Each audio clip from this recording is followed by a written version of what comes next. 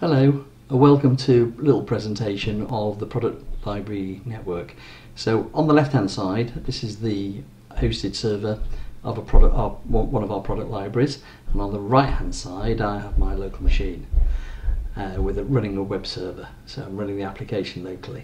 So I'm going to search for a product supplier, uh, which is the Armstrong Integrated, who I haven't actually got, and it says false there. So just click the add button and it will add all the supplier details. So now that's being transferred into my library.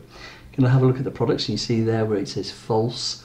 So I'll just click through each one of these products and that will just add them to my local library. Okay, so let's go and have a quick look and see whether they actually arrived. So we'll just search for them again. And this time we have got that supplier.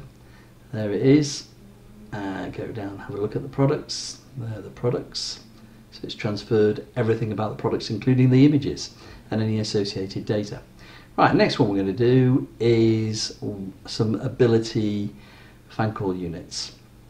So in ability we've got on our uh, hosted server we've got some fan coil units uh, which have got product attributes.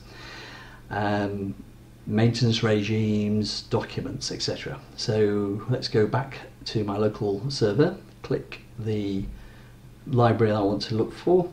Uh, I've got Armstrong and it's already, I've already got it, but I don't have their products. So I'm going to click one of the ones that I haven't got.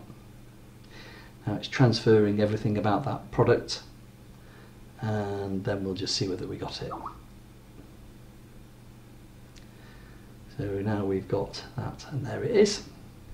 And it looks exactly the same because it's the same data as the maintenance, uh, the attributes transferred and also if we have a look at the maintenance regimes. We've got the maintenance regimes as well. Same information. Thanks for watching